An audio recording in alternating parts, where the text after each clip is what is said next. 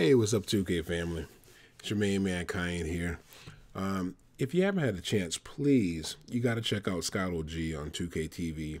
He had an excellent tip on how we, as sim players, can uh, learn how to beat the 2 3 zone. Uh, it's an excellent tip. Please go watch it.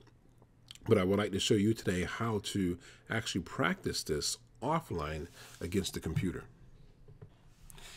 Okay, so the first thing you want to do is you want to get into a quick game. I haven't been able to get this to work on scrimmage mode.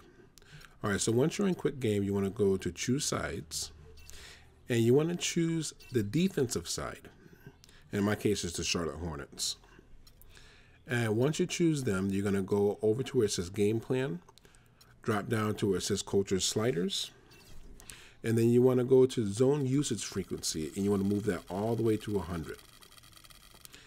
And then once you do that, you want to um, back out, choose your team that you're going to be playing with.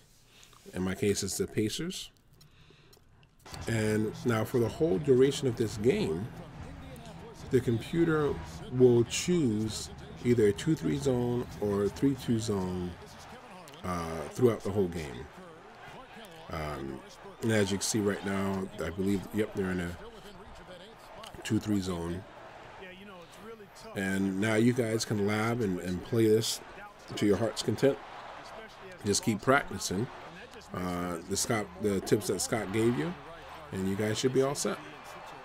Okay, I'm out.